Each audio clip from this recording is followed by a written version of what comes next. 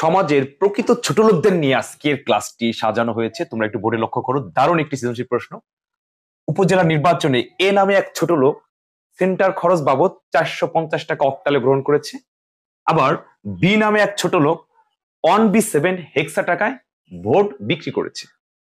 এর উপর ভিত্তি করে সৃজনশীল প্রশ্ন সাজানো হয়েছে। আমার বিশ্বাস, তোমরা মোটামুটি যারা বেসিক জানো, এই প্রশ্ন উত্তর করতে পারবে। কতে বলা হয়েছে পজিশনাল সংখ্যা কাকে বলে? সাত যোগ ছয় সমান পনেরো অর্থাৎ সাত আর ছয় যোগ করলে পনেরো হয়, এটা ব্যাখ্যা করবা। গতে বলছে এ ও বি ছোট লোকের মধ্যে কে বেশি টাকা পেয়েছে? ব্যাখ্যা করো, অর্থাৎ এই মুহূর্তে কিন্তু আমরা বলতে পারব না যে বি বেশি পেয়েছে নাকি এ বেশি পেয়েছে। তাহলে আমরা বলতে পারব কীভাবে বলতো? দশমিক সংখ্যায় কনভার্ট করলে। তাহলে অক্টাল এবং হেক্সাডেসিমেল তুমি দশমিক সংখ্যায় কনভার্ট করে বলে দিবা কে বেশি পেয়েছে।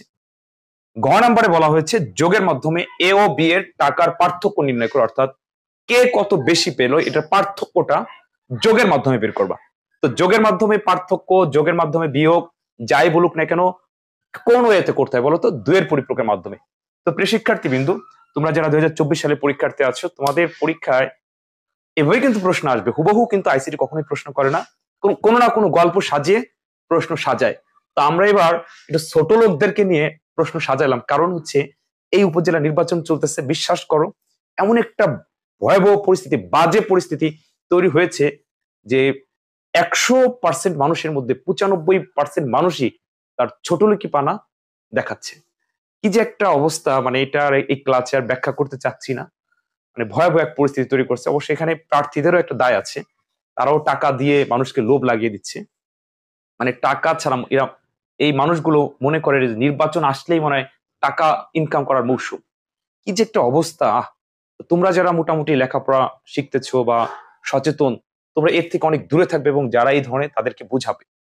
কি যে একটা অবস্থা, ধরো কোনো প্রার্থী যদি টাকা অফার করে, তুমি যদি টাকা না নাও, মনে করে কি যে তুমি মানে ভোট দিবা না। এমন একটা পরিস্থিতি তৈরি করে ফেলছো সমাজে।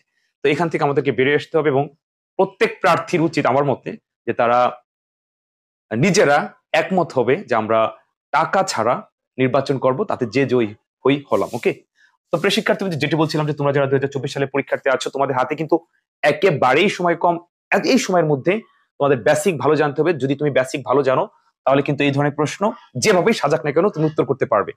আর যদি কেউ বেসিক না জেনে থাকো, এখনও সময় আছে, এক দেড় মাস যে কয়দিন থাকুক না কেন, তুমি চাইলে এই অল্প সময় আমার কাছে আইসিটি অনলাইন অনলাইনে কোর্স করে বেসিক শিখতে পারবে। এই মুহূর্তে কোচিং এ এসে আমার কাছে আইসিটি পড়লে কোনো লাভ হবে না। কারণ এই এক দেড় মাসে আমি তোমাকে পরিপূর্ণভাবে শেখাতে পারব না। হয়তোবা প্র্যাকটিস করার জন্য আসতে পারো, কিন্তু বেসিক শুরু থেকে ভালো করে বেসিক শিখে প্র্যাকটিস করার জন্য না। তাহলে অনলাইনের কোর্সটি বেস্ট হবে। কারণ অনলাইনে ভর্তি হওয়ার সঙ্গে সঙ্গে তোমাদের পুরো বইয়ের বেসিক ক্লাস রেকর্ড আকারে সাজিয়ে দেওয়া হবে। তারপর তুমি যখন খুশি তখন দেখলা বেসিক কমপ্লিট হয়ে গেলো দশ ঘন্টায়। এরপর লাইভে বোর্ড পরীক্ষা পর্যন্ত প্র্যাকটিস করলা, তখন আর সমস্যা হবে না। তো যাই হোক, বিস্তারিত জানতে আমার এই নতুন হোয়াটসঅ্যাপ নাম্বারে এস এম এস করো। আমি রিপ্লাই দেওয়ার চেষ্টা করব। আমার নতুন আগের নাম্বার কিন্তু বন্ধ হয়ে গেছে নতুনটা এস এম এস দিও, ঠিক আছে? আচ্ছা তো দেখো প্রিয় বিন্দু এই প্রশ্নটি আমি করে দিতে চাইছিলাম, কিন্তু প্রচণ্ড মেক করছে, হয়তো যে কোনো সময় বৃষ্টি চলে আসতে পারে। আমি আর এখন করাচ্ছি না। এইটা তোমাদের বাসার কাজ দিলাম, তোমরা নিজেরা প্রমাণ করো, কোন ছোট লোক বেশি টাকা গ্রহণ করেছে, এ নাকি বি? ভালো থেকো।